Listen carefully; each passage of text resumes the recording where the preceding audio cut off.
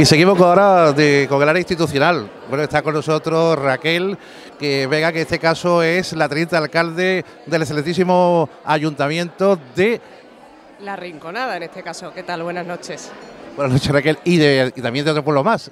Efectivamente, San José de la Rinconada, me preguntabas antes, eh, pertenece también a la Rinconada y estamos hablando de un único municipio. La gente tiende a pensar que, son dos eh, municipios independientes, pero no, San José pertenece a la Rinconada, un municipio de 40.000 habitantes. Es curioso lo que ha crecido exponencialmente esas dos ciudades, esos dos pueblos que son limítrofes con Sevilla, porque ya prácticamente es un, par de kilómetros con la diferencia uno de otro.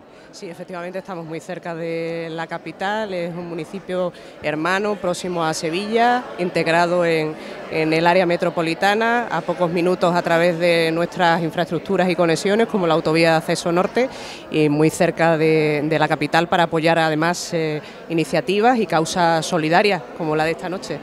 Eh, hay una gran parte de los terrenos que se han utilizado para hacer unas grandes polígonos industriales que le están dando una revitalización importante a los dos pueblos y a Sevilla incluso porque son trabajadores de allí.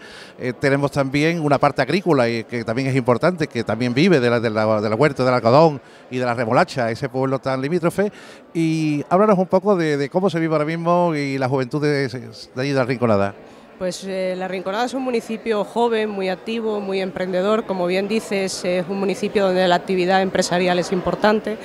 Eh, nuestro pueblo pues, se conoce por su actividad aeronáutica, Aerópolis, el Parque Tecnológico y Aeroespacial de Andalucía tiene su ubicación en La Rinconada y al mismo tiempo, pues como municipio de la Vega del Guadalquivir es un municipio donde el, campo es muy importante. Nosotros solemos decir que La Rinconada tiene la particularidad de que produce naranjas y melocotones y al mismo tiempo fabrica aviones, forma parte de nuestra singularidad ¿no? y al mismo tiempo es un municipio que está cuidando mucho el sector eh, El desarrollo es un aspecto que estamos cuidando eh, al igual que a las empresas, para hacer de la Rinconada un pueblo atractivo para la inversión y que desde luego estamos intentando potenciar con infraestructuras y buenas comunicaciones y parques empresariales pues idóneos para la inversión.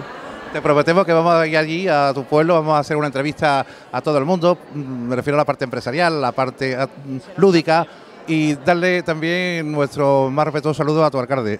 Javier Fernández también lo hace, lógicamente, para la Fundación Banco de Alimentos. Él me transmite que, resalte la trayectoria de, la Fundación y la importantísima labor social que se está llevando a cabo y para eso el Ayuntamiento de la Rinconada pues acude también esta noche aquí con, esta fundación y con todas las empresas que colaboran por, por esta causa.